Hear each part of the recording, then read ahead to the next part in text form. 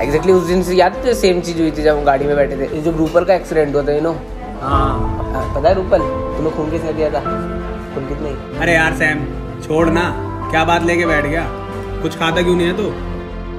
पुलकित लो ना। No thanks पुलकित listen जब एक साल पहले तुमने मुझे प्रपोज किया था उस टाइम में तुम्हारा प्यार समझ पाई मुझे समझ आ गया। Sorry I really love you